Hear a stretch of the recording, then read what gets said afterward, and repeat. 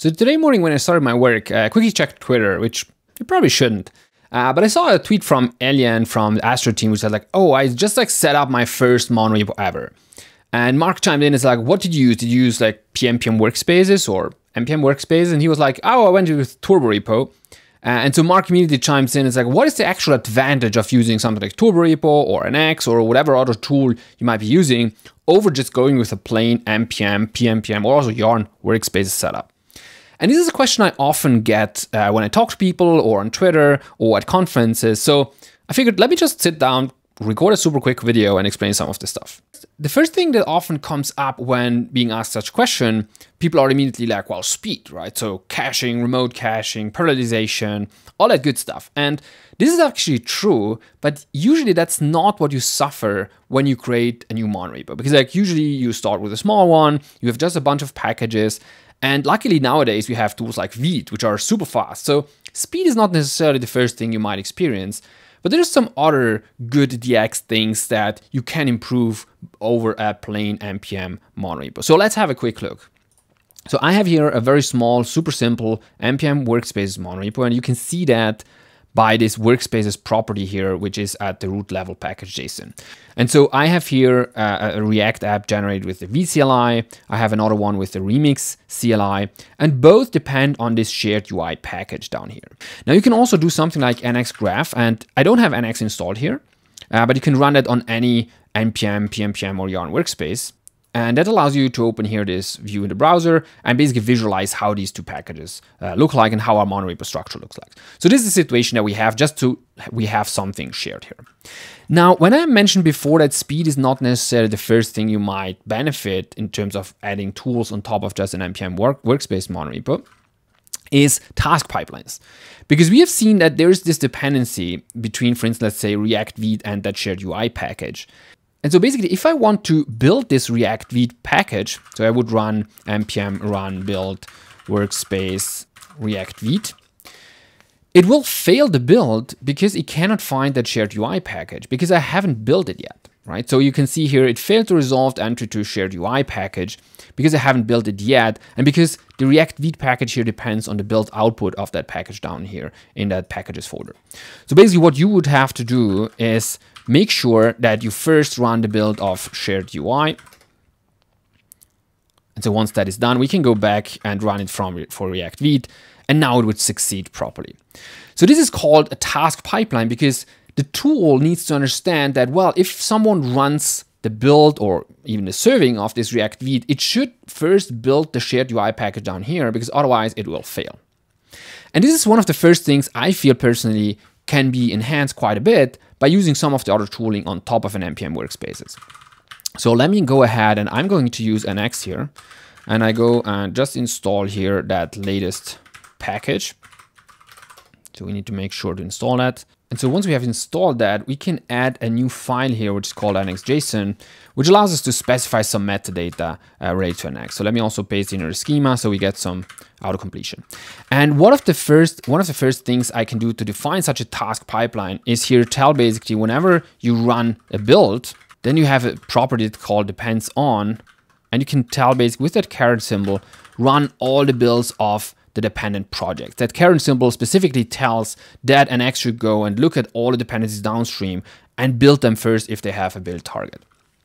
And so if we retry this again, let me remove actually all that dist folders that we have created. But now I run it through the NX pipeline, such that NX actually is able to take care of the build. What it will do is just run the scripts, the package.json scripts that we already have. So if I run, for instance, something like NX build React Vite, uh, NX will go here in the React Vite package, look at the package JSON and run that build script. So the build that I mentioned here is specifically mentioning this script or targeting this script up here. Now, if I run this, you will see now NX is waiting for one dependent project to build first.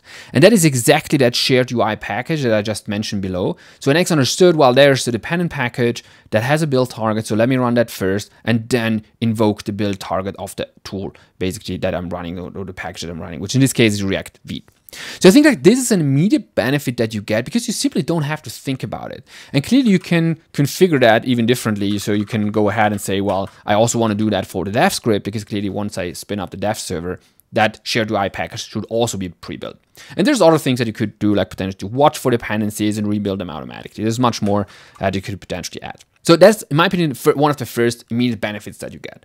The next one, which I already anticipated before, is clearly speed, right? So if I now have multiple of these packages, I want to make sure that they're built as fast as possible. And many modern tools nowadays have something built in that is called caching. And so in order to enable caching, I can just go again in here and say cache true for this build. And this is an opt-in because I want to make sure that the build is actually cacheable because if it has some side effects, it's not. So I want to enable that manually here. And so if I go back and run React Vite build, it would rerun it the first time around because there's no cache yet. But you can see if I rerun it again, it is basically immediate, just taking a couple milliseconds because there's no change that had happened. And so it just went ahead and builds it. And so the more packages you have, for instance, if I run multiple targets, if I run build and test and lint, I don't even know what I have here.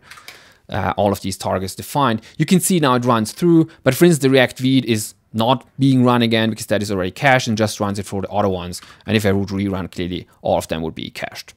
Now by default, the cache here lives just locally. So there's just an NX folder and there's a cache in here. But then if you want to use that on CI, clearly you would go and have to do something like NX Connect and connect that with the remote caching. And if I rerun here the, the build of all the, the testing and linting, it would run them first time to produce some of the caching.